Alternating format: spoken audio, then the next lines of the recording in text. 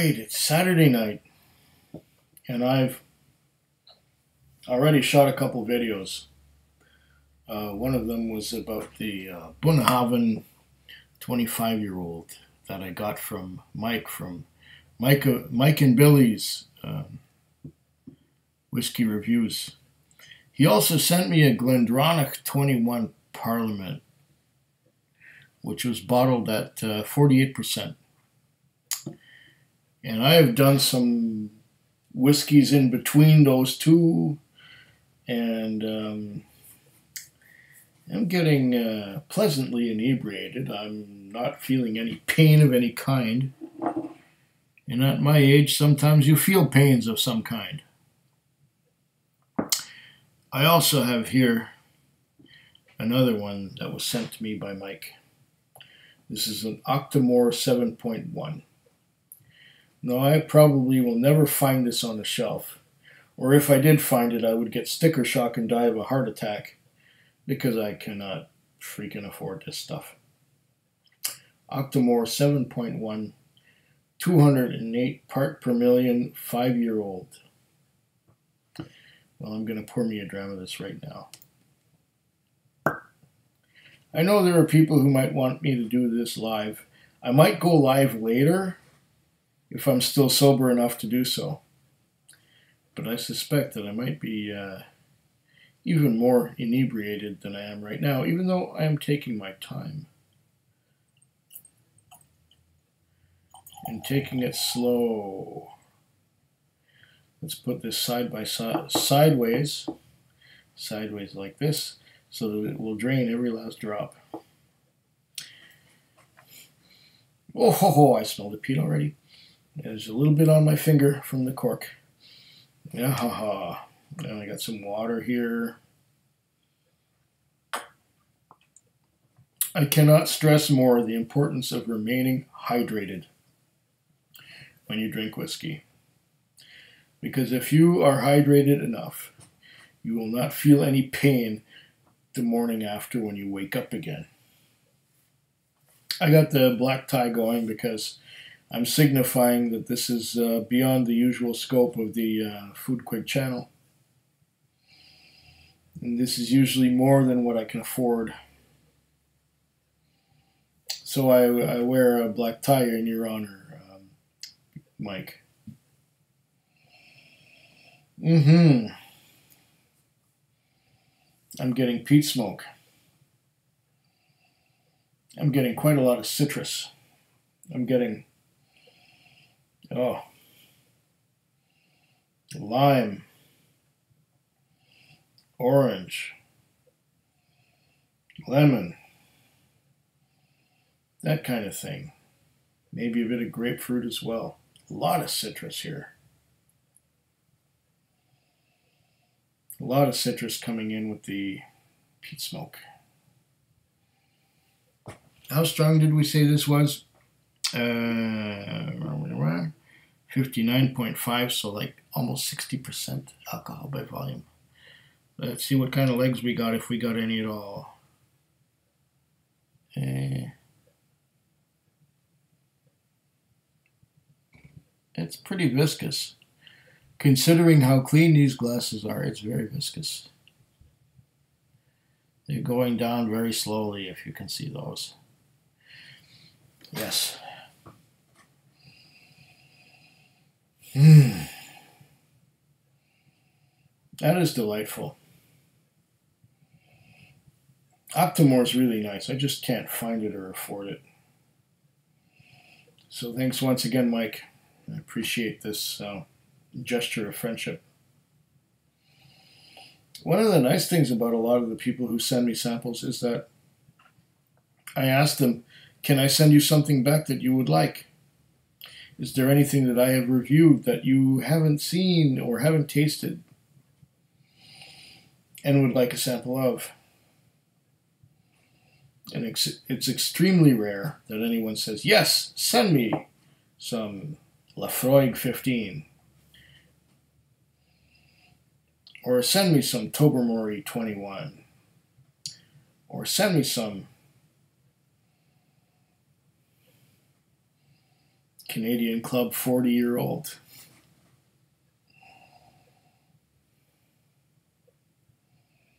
Mm, the nose is nice. There's that peat smoke.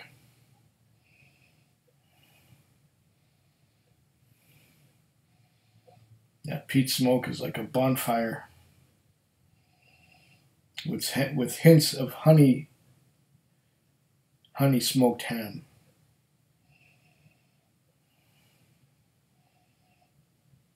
Thing about peat smoke is that after about 60% or, or 60 parts per million or so, our sensitivity towards it decreases.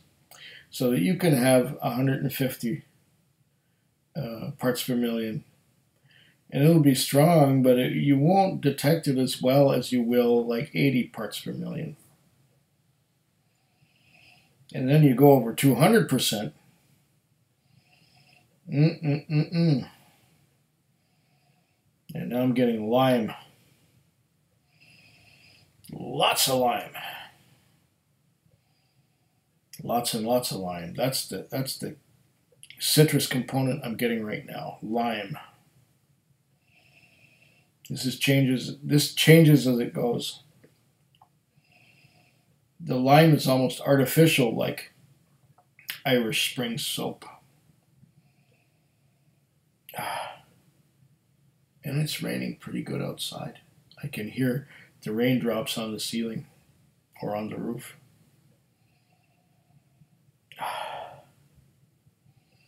If I went to the drain spout, it would be gushing down.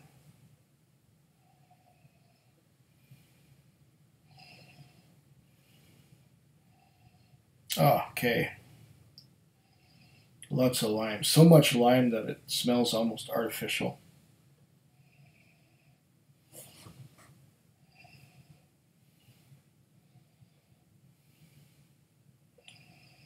That's definitely what the citrus is here. Lime, lime, lime, lime.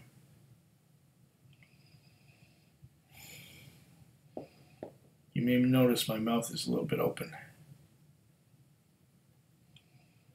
It's a bit open when I nose this. And it's harsh, it's strong on the nose.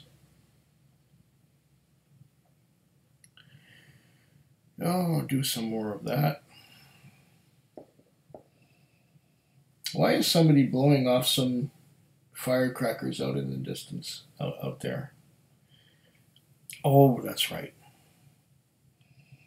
Guy Fawkes Day and it's almost Halloween. Okay, it's Saturday. Halloween's on Wednesday. Why you do it now rather than on Wednesday? That's going to be a ridiculous night out on the road for me. Lime. Lime and what's that other thing I'm getting out of there? I'm definitely getting a lot of lime.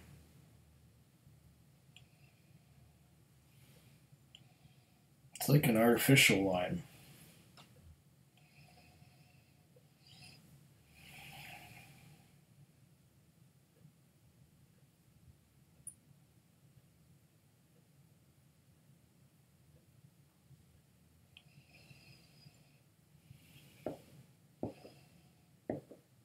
Lime and a little bit of lemon. And fireworks out in the distance. I probably won't be able to see them because we got we got rain. I can hear the rain on the roof. Okay, so lemon and lime. As I'm going along, the lemon seems to be getting stronger and the lime seems to be, seems to be getting weaker. Hmm.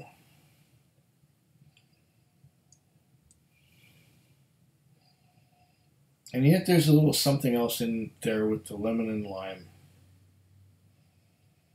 I'm having trouble trouble pinpointing it. I I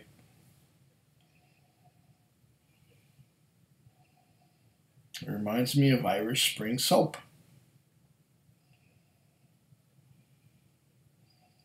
Maybe if I take a sip, I will have a better chance of pinpointing what it is that I'm smelling.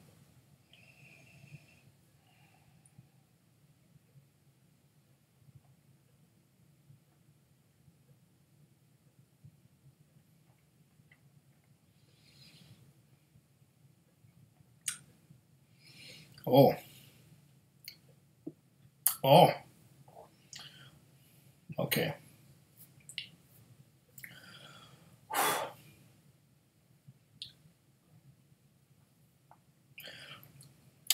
Bonfire and wood. Wood on the tongue. Wood and strong lime and strong, strong lemon.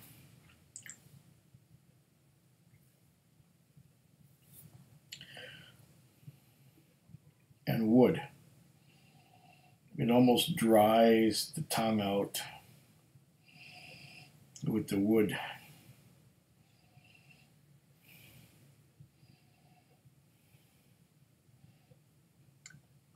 Water, because that's what it's there for.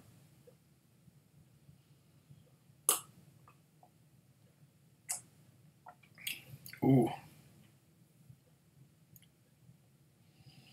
Speaking of water, I think maybe this would benefit from a little bit. Let me put one spoonful in there. Let me put two spoonfuls in there. And I'm sorry if I'm committing sacrilege for some people, but that 59.5% um, is a little much even for me, where I'm happy to go to about 51, 52. But, oh,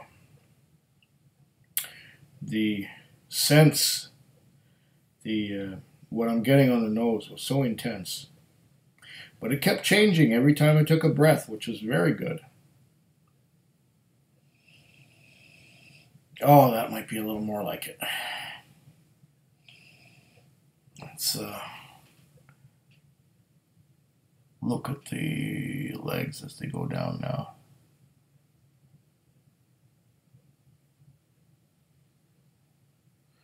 Slowly, slowly, it's viscous. And that's even after two two spoons full of water.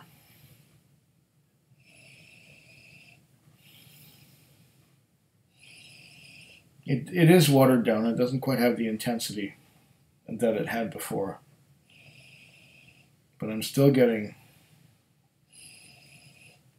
underneath the peat, which is not overpowering, and it's not surprising because as the uh, the peat smoke level is higher than about 50 60 percent your sensitivity to sensitivity to it diminishes and it you smell the peat smoke less than you did before. Once again, as I got before neat, I'm getting quite a lot of uh, lime. Quite a hefty heaping dollop of lime.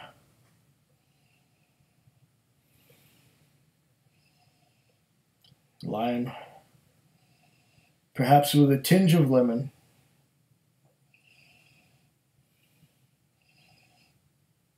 Now that I've added some water, I'm getting a little bit of oak, which I wasn't getting before. Before the lime and the lemon, the citrus was so overpowering that I could get nothing else. Now, like I said, there's some oak and smoke and bonfire.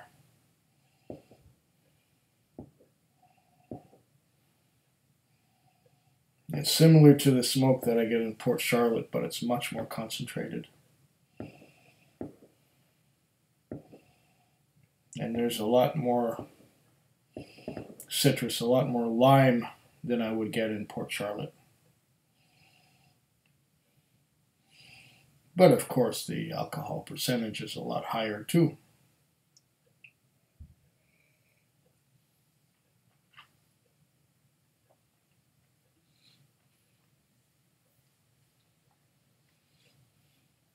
Hmm.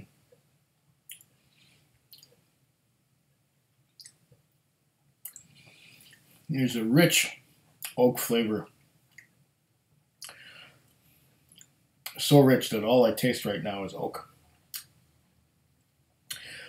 There's the citrus, and there's the lemon, there's the peat smoke. The peat smoke is all about dissipated. It's just about moved off to the sides. And I'm getting on the top, I'm getting some lemon and lime, mostly lime, and a little tinge of lemon to it. But left on the palate, on the tongue, is the dryness of the oak.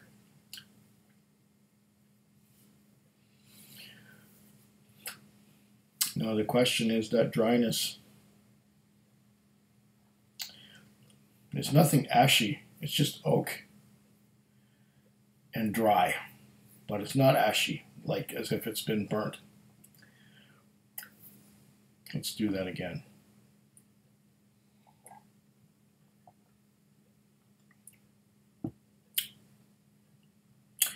It doesn't remind me of smoke, what's left on the tongue.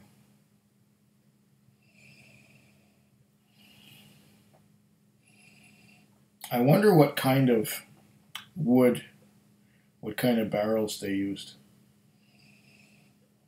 If this is aged in ex bourbon, I'm suspecting that it is ex bourbon all the way. And the higher ABV has some means of extracting more flavor from the bourbon barrels than it would if it were a lower ABV. Interesting.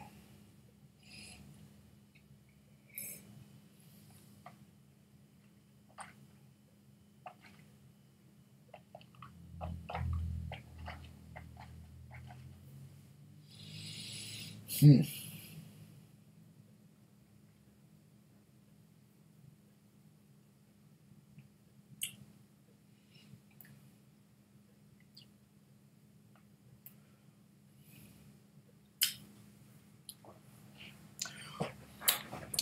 Still a lot of citrus and oak.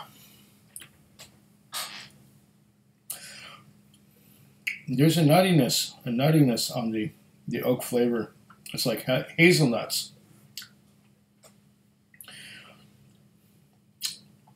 Now that I'm taking a, a sip of it,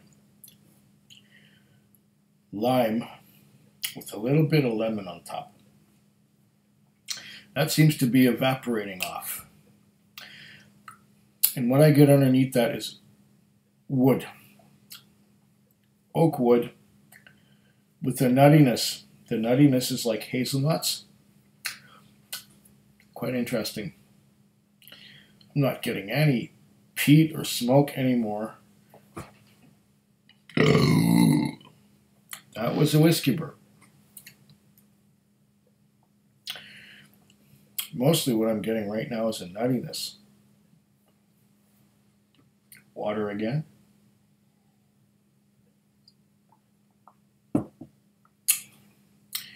And this is one of those cute little bottles from um, Macallan, where Macallan has the tiny little cork. So uh, Mike used one of these ex Macallan bottles to put this Octomore in. Ah. Wow.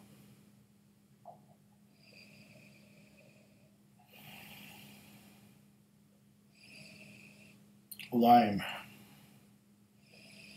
Still a lot of lime, even though I put a whole bunch of water in it. I'm gonna, I think it can take another spoonful, don't you? Let's spoonful it again.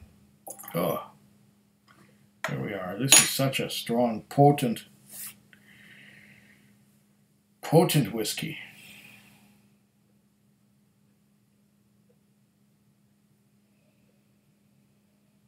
Okay.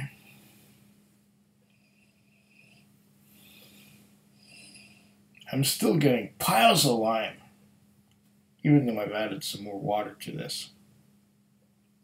Piles and piles of lime. Lime.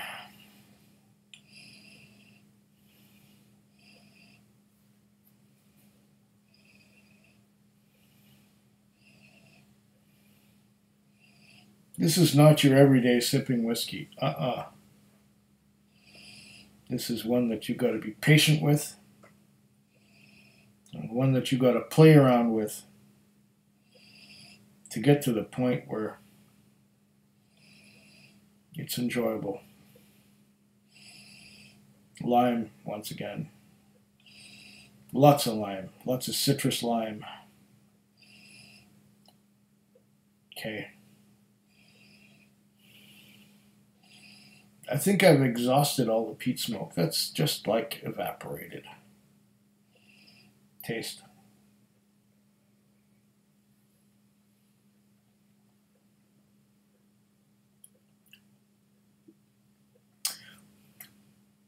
Wow. There's not much lime left right now, but I get a strong, overpowering taste of hazelnuts, stronger than any hazelnuts I've ever had in my mouth. Uh, yesterday, or was it earlier today, I had a chocolate bar. It was a Lindt chocolate bar from Switzerland. And it was milk chocolate with hazelnuts. And the hazelnuts are whole within this milk chocolate bar. And the milk chocolate is delicious. And the hazelnuts are wonderful. Right now, this Octomore 7.1 with a whole bunch of water put in it is reminding me of those hazelnuts that were in the Lindt hazelnut chocolate bar.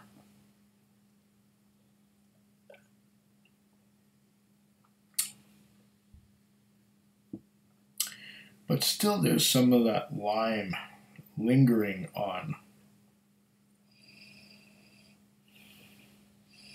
And it's not subtle, it's right up your nose lime, lime, lime, lime, concentrated lime.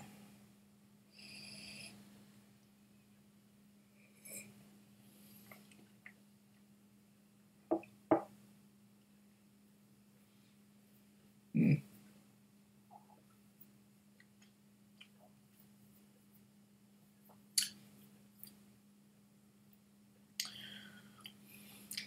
I still have a mouthful of lime. And the finish, incredibly strong and dry hazelnuts. Hazelnuts out the yin yang when it comes to the finish. And this was after three spoons of water, or was it four? And this is just lingering on this finish with the with the lime and the lemon. There's a little bit tinge of lemon on top of the lime and hazelnuts, dry hazelnuts. Ah, this is some luxury whiskey. Ah.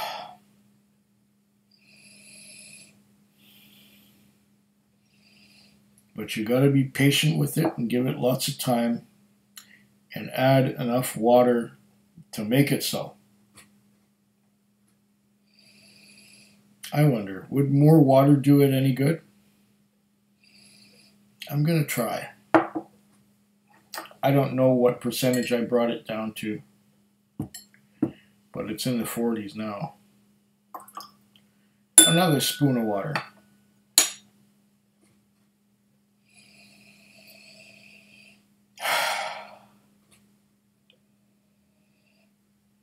Citrus is still there.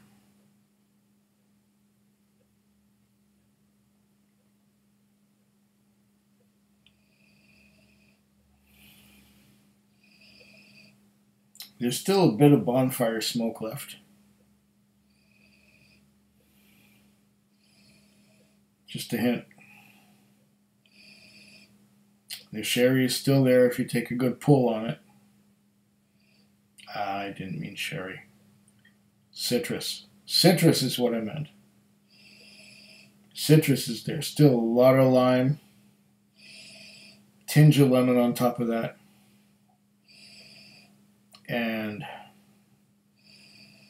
uh, maybe it's a little more lemony than uh, lime right now. I'm gonna taste it one more time.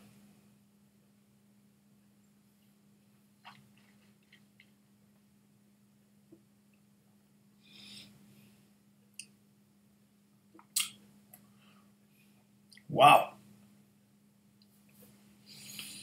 Wow. If anything, the aftertaste of hazelnuts is even stronger than it was before. Incredible this stuff is. Really incredible.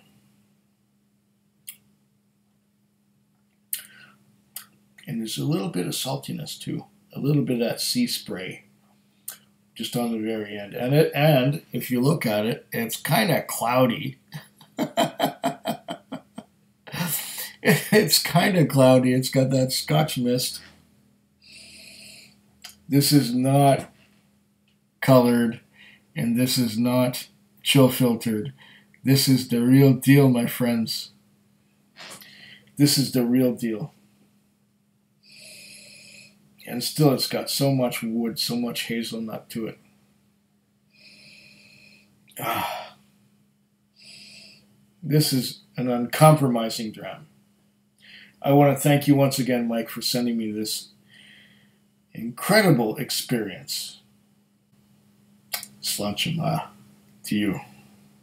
Food Quig. Uh, food quick. Food quick. Food Quig. Food quick. Yeah.